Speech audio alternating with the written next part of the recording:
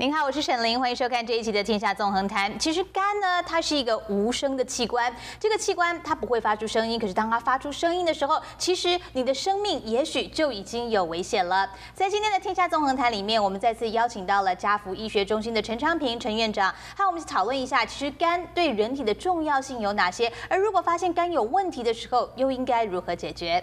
秦医师您好，是主持人，各位观众大家好。您好。那说到肝哈，事实上是我们华人最重要的疾病。对。因为肝癌一直都是华人男性的第一名癌症，第一号杀手，已经十多年了。对。会越来越久。不是，他会，他你的意思是说，其实他是男性的第一号杀手，可是他会一直持续下去，永远这个时间都不会掉下来。要要改的话，很很难。哦。除非有另外一个癌症比肝癌更可怕。更可怕。对。那我们首先就像你讲的，肝是没有声音的器官，所以它不发病的时候，你根本不知道。对。但是，一发病的时候，不是肝癌，哎，对，不是肝癌五公分，嗯，不然就是肝硬化最后一期。呀。好。哇。所以在早期的时候是完全没有症状。嗯。那我们台湾就是有一个宋瑞柔教授，他做肝病。五十年来，他的一辈子就是做肝病。后来他发现了，原来肝病有三部曲。是。也就是说，B 型肝炎的人得到之后，他不会发病的。呀。他到三十岁的时候才开始有一些人会慢性肝炎。在这时候也没有多大症状。对。然后到四十岁的时候就肝硬化，到五十岁的时候就肝癌。哦。而这个得到肝癌的比例大概在十五 percent 左右。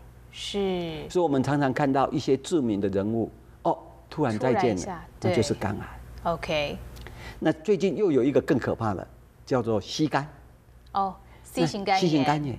那 C 型肝炎为什么要特别强调呢？因为美国现在才发现说，C 型肝炎是一个不可预防的疾病。哦，它是没有办法像 B 型肝炎这样可以预防，哎有疫苗，你有疫苗才可以预防嘛。是是是，C 型肝炎是没有疫苗的。OK，它没有办法预防，没办法预防。所以唯一的方法是怎样？尽量避免得到吸肝的 C 肝的途径。是。那吸肝跟 B 肝其实它最主要是靠血液传播。传播。血液。嗯哼。那血液传播在为什么吸肝这么多人得到？事实上是在十五。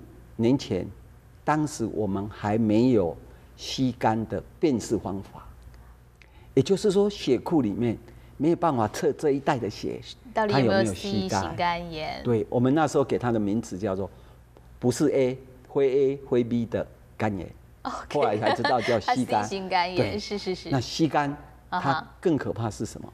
它是十年就变成慢性肝炎，二十年就肝硬化，三十年就肝癌。哇哦，并且比例非常高，三十 percent。所以其实是 B 型肝炎几乎的一倍了。它如果要变成肝炎、肝癌的话，对，并且速度又快的接近一倍。啊哈，十年、十年、十年，马上快。所以这是一个很重要的。嗯。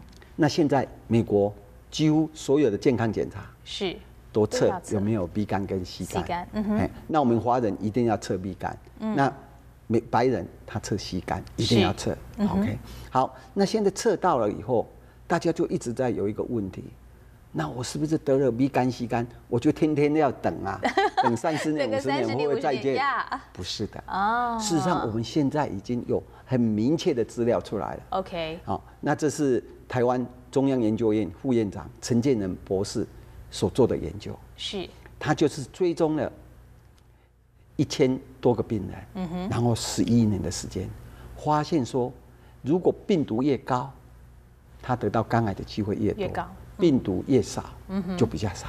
嗯哼，所以只只要把病毒降到一万以下，就天下太平了。OK，所以是 B 型肝炎或是 C 型肝炎，您所谓的里面的病毒降到一万以下，降到一万以下，其实您得到肝硬化甚至是肝癌的机会就跟平常人一样。OK，就不用太担心你是 B 型肝炎或是 C 型肝炎差十六倍。哦，哇！所以这是一个。很重要的研究。对。那现在全世界的这个药厂就一直拼命研究肝肝药啊，能够把怎样把 B 肝降下来，是把 C 肝降下来。啊哈。OK，那 B 肝已经有几个药不错，是。但是它最大的缺点就是要吃一辈子。哦，需要是一辈子的药。好，那这一辈子哈，开始保险会付，嗯后来保险就不付了。那它很贵，它一个月哈，B 肝的药是一千一百块美金吗？美金，？B 肝的药一个月要一千一百块。哎，以前是八百块，现在升格了一千升格了 一千一百块，哇，这样怎么普通人应该负担付不起吧？付不起。好，所以很多人吃到一半就停了，停了，那停了就可怕了，就马上回来了。哎。因为 B 肝的药，它其实是抑制它的转换中间，就把病毒复制，把它抑制，OK，但是它延伸的病毒是没有还躲在肝细胞里面，嗯哼，所以他看上外面已经没有警察了，他就跑出来了，哦，跑出来就开始作乱了哎，他很聪明啊，非常聪明，哎嗯，，所以 B 肝就是这么厉害，哇哦，所以我们就一直在思考有没有办法来处理它。对，那处理它其实最好的方法，嗯哼，就是自己的免疫力。提提升自己本身的免免疫疫力这是不要靠最重要外在的药物要来杀这些病毒。对，那事实上这个免疫力非常的重要。嗯，为什么？你看一样的感冒病人，病毒来了为什么一般同学只有几个倒下去，对对对对其余的对都没有倒？呀，那就是没倒下去的，就是免疫力不好。当然啦，相同的，这 B 肝是妈妈传给小孩。嗯哼。那么假设妈妈生了四个小孩，有的一半会有，有的有一不会有半会得到，有一半不会得到。所以那一半得到的就是免疫力差。呀，所以我们就研究了很久，才发现说，只要你提高你的免疫力，提高那免疫力里面又分为几个部队，其中最强的一个部队叫做 NK，就自然杀手细胞部队。啊哈，那这自然杀手细胞是一九七三年的时候，美国专家发现的。哇哦，它这个细胞最大的特点是，只要不是朋友就是敌人，哦，就杀了他。他是非楚河汉哎汉界对对对对对，分得非常很清清楚。那我们平常的 B 细胞、T 细胞是说，哎，请问你是何方神圣？他哦那时候还不杀他，对对对，如果你是有侵略性的时候，才会把才会它歼第二次，进来才会歼灭掉。那这个 NK 不是进来，哦就杀。口号一二三讲错了，啵啵就吃掉了，哦，很厉害。呀，它占我们人体身体的白血球的五 percent。OK，嘿，那这 NK 治疗事实上在亚洲已经做得很彻底了，是。是用来治疗癌症病，哎哦。给他打了 NK 细胞以后，他身体会变好。是 OK 因为免疫能力增强对，，但是那个也是很麻烦的过程，你要抽出来血液再去培养呀，所以在美国是不可以的。嗯，但是我们在偶然之中发现说，哎，我们有一个从鸡蛋里面的蛋黄里面萃取出来的 IgY，嗯哼，既然能够增加 NK 细胞，哦哎，OK，所以我们做的动物实验，就有跟没有就差了将近三十 percent 的 NK 细胞。另外呢，三十 percent，哎，另外更好的是，还有一个东西叫干扰素，嗯哼，interferon。那干扰素事实上是治疗病毒的一个很重要的一个药物，是，但是打针的干扰素，身体打下去以后，十个大概有五个就倒下去了。哦，为什么呢？？因为它让逼迫我们身体的整个免疫力变差。哦，所以对对干扰细胞它是让你的免疫力变差对，它，是要来攻病毒，呃结果因为它很强时，它是几千个单位进去，呀，那我们正常的细胞也受伤了，是没所以就有办法抵御对它啊，，很多人会掉头发、呕心呕吐。对所以很多人打了干扰素，尤其是治疗吸肝的时候，打到一半就放弃了。因为真的很不舒服很不舒服。啊，陈医哎师，对啊，我有一个病人就跟我讲说，我能不能不要打？因为打了以后吼，我要发神发疯了，神经会影响到哦，这哦，连神经的系统都会哎受到伤害。哎，对，哇，接踵而来的，这打了一个 C 肝的药，我觉得全身都会不对劲哎不对劲。，哎，对，那可是我记得好像吸肝的药并不是要一辈子的，不是吗？就是它是可以，吸肝是一年，对对一年对，。所以只要忍过那一年就成功了。通常病人都会什么时候来跟你说？会不会说一个月的时候就跟你说第二个月、第三个月就受就受不了了？嗯，但是吸肝哈又分为两型，嗯哼一个叫一型，一个叫二型。哦那大部分的华人得到的都是一型。那一型对干扰素加上一个药叫 ribavirin 的药，嗯哼它的效果只有三十 percent。哇哦，哎啊，如果是二型，它可以高达六十 percent。所以 C 肝还有分第一型跟第二型。对，好，那我们现在讲了，如果我们自己身体可以来产生干扰素的话，嗯，是太好了，就可以直接把病毒处理掉。对，所以就利用这个 NK 细胞，嗯哼，跟干扰的毒杀力加上干扰素。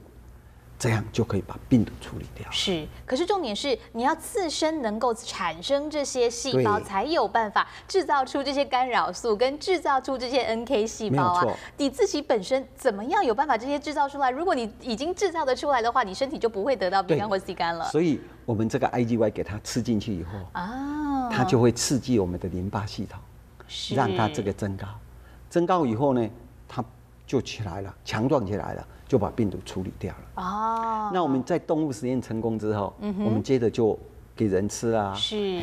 那吃了以后，这个 B 型肝炎的，大概在三个月的时候，它病毒会降五十 percent。OK。然后到一年、一年半以后，就几乎正常。是，几乎是正常的。对。所以对 B 型肝炎来。它比那个吃一辈子的抗病毒药还好，好多了。对啊，就像你不用一辈子去依赖这个 B 型肝炎的这样的一个药，一辈子哎，其实说实话很长哎。对，然后重点是经济能力也负担不起啊，陈医师。太贵了，真的太贵了。嗯。那 C 型肝炎呢？以前就是打干扰素嘛，所以很多人都倒下去了。对，打不了嘛。最近 C 型肝炎出了一个口服的药，哦，非常好，是吃下去，好吃。哎，八十四颗，OK，就好，九十 percent 好。哦，哇哦，很好啊。对对，但但是贵了。哦，它非常贵，型肝炎还要贵吗？一颗要一千两百块。一颗你要吃八十四颗哎，对，你要准备八万多块，哎对，快对啊，来来来解决你 C 肝的问题。所以很多保险公司也受不了了。当然的，所以他就用很多方法让你尽量不要吃。没有办法去吃那个药。嗯，所以。那细性肝炎，我们这个 IgY 对它有没有用？是效果更好。OK，在三个月的时候，它会降到九十 percent 病毒，哎，所以一下子就降下来。所以我们就在探讨说，为什么我们的 IgY 对 C 肝比对 B 肝好？对啊，为什么会产生这样的作用呢？对，原来 C 肝是在肝细胞里面的细胞质，那 B 肝是在细胞里面的细胞核。OK，那细胞质比较容易剥掉嘛？细胞核在内心嘛，所以哦，所以它比较难，嗯，比较难攻进去，所以它在细胞核里面，所以它只能杀掉外面的病毒，并没有办法把这个病毒在细胞核里面的完全杀死掉。呀，那唯一的机会就是等到这个细胞代谢的时候，是细胞核剥掉，嗯哼，所以我们要吃一年，这个细胞核才会剥掉，是，所以我们都建议一年到一年半。来吃这个 IgY，嗯，所以其实这个 IgY 啊，它是它的免疫功能增强，还有它这干扰素可以加强这个步骤呢，还有这样的结合呢，其实对 B 型肝炎跟 C 型肝炎的帮助是非常大的。可是其实这个 IgY 呢，也许你好像听过，也许你没有听过。其实这个免疫蛋黄体，它是从母鸡所生出来的蛋里面的蛋黄里面所萃取出来的。到底应该要怎么样萃取？而 IgY 有什么其他神奇的功能？在下一节的天下综合。当中，陈昌平陈博士会继续的告诉我们 I G Y 的申请功效。